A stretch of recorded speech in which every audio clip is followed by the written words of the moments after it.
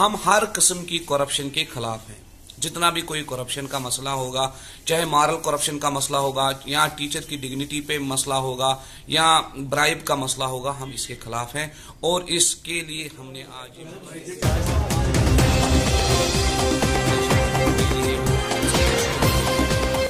आईना कचरा सिर्फ़ सत्य करवाए रूबरू उन्होंने आपको बताया कि ओपीएस और दूसरे साथी ने आपको एनईपी 2020 के बारे में बताया। जहाँ तक टीचर की डिग्निटी का ताल्लुक है उस पर हम कोई कंप्रोमाइज नहीं करना चाहते हैं।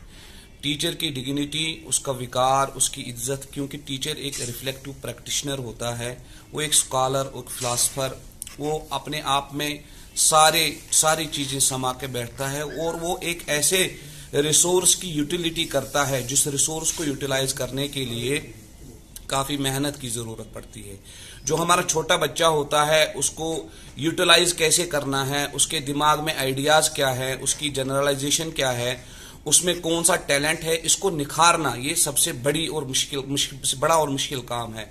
और इस मुश्किल काम को हमारे टीचर हजरात अंजाम दे रहे हैं। दिन रात वो काम कर रहे हैं, ट्वेंटी फोर आवर वो काम कर रहे हैं। और उसके बाद अगर उनकी डिग्निटी पे या उनकी, उनके विकार पे, उनकी इज़्ज़त पे कोई भी आँच आ जाएगी तो उसके लिए जो हमारा, जो ग्रुप है, जो हमारी फोरम है, वो उनके शाना बशाना खड़ी हैं।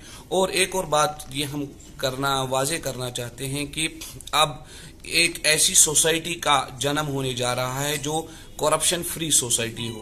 करप्शन हम एक तरीके से नहीं कहते हैं कि आप कहेंगे कि करप्शन होता है, जब हम किसी को पैसे देते हैं या किसी से पैसे लेते हैं। करप्शन मॉरल करप्शन भी हो सकता है।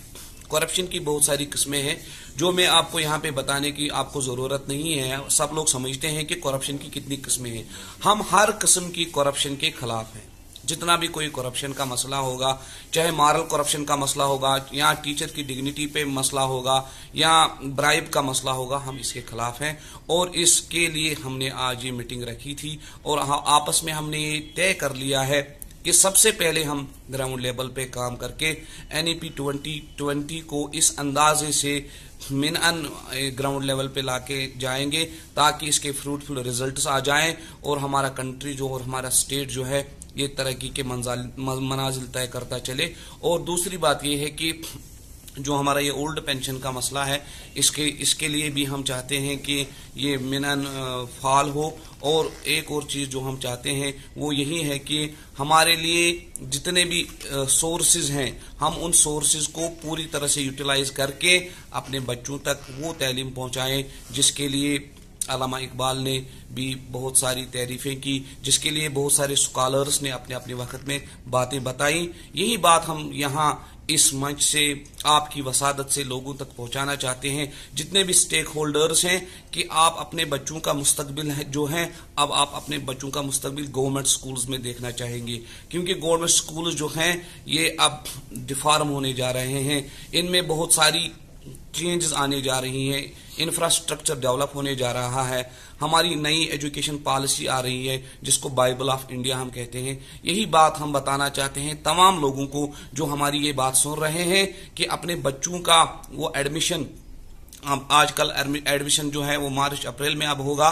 तो वो अपना एडमिशन गवर्नमेंट स्कूल्स में कराए और टीचर और उनकी डिग्निटी और उनका विकार जो है, उस रेस्पेक्ट को किया जाए और ओपीएस को, यानी ओल्ड पेंशन स्कीम को यहाँ पे, दोबारा से यहाँ पे लागू किया जाए। और इसके लिए हमारी जो ऑर्गेनाइजेशन है Jammu Kashmir teacher education committee और हाल ही में हमने एक बैनर भी लॉन्च किया हुआ है, आपको पता होगा, जिसका नाम हमने दिया है Jammu Kashmir movement for old pension scheme ये जुद्दत हमारी शुरू हो चुकी है, न सिर्फ़ कश्मीर में, बल्कि जम्मू में ये जुद्दत हमारी शुरू हो चुकी है। आने वाले दिनों में कुछ एक ऐसे प्रोग्राम हम देने जा रहे हैं और सिर्फ़ और सिर्फ़ वहाँ पे इसी बैनर के तले हम वो प्रोग्राम इनशाला करेंगे। और फिर एक बार मैं यही यही कहना चाहूँगा, जो ये पेंशन जो होती है, ये बुढ़ापे का सहारा होता है। क्योंकि जब कोई गवर्नमेंट जॉब ऑप्ट करता है, इसका मकसद यही होता है कि जब साठ साल के बाद हम रिटायर होते हैं तो उसके उसके बाद हमें एक अच्छी खासी पेंशन मिला करती थी। लेकिन जब से इस पेंशन को बंद किया गया है इसको यहाँ पे खत्म किया गया है और तब से कुछ एक मुलाजमिन हाल ही में रिटायर हुए हैं और अब उनको पेंशन के नाम पर उनको चार सौ रुपया किसी को दिया जाता है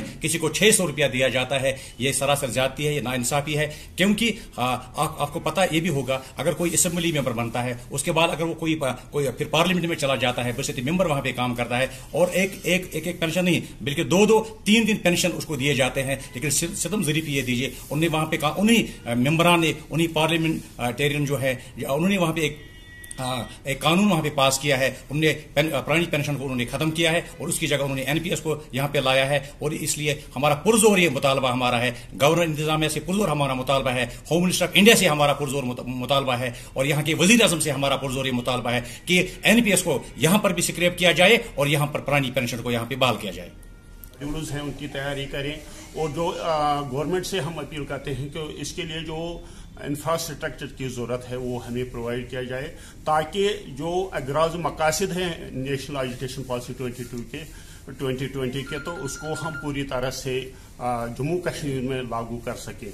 जो बच्चा है, वो हमारी प्रायोरिटी है, हमारे स्कूलों में, खासकर जो बच्चे आते हैं, वो डाउन ट्राउन फैमिली से आते हैं तो हमारा कंसर्न है क्वालिटी एजुकेशन हमारा कंसर्न है, हमारा बच्चा और हमारा कंसर्न है improvisation of education policy 2020 and implementation of education policy 2020 in Jammu and Kashmir issues हैं, खासकर हमारे कोर इश्यूज़ हैं ट्रांसफ़र जो है हमारी रहबत तलीम जो 2000 में अपॉइंट हुए हैं।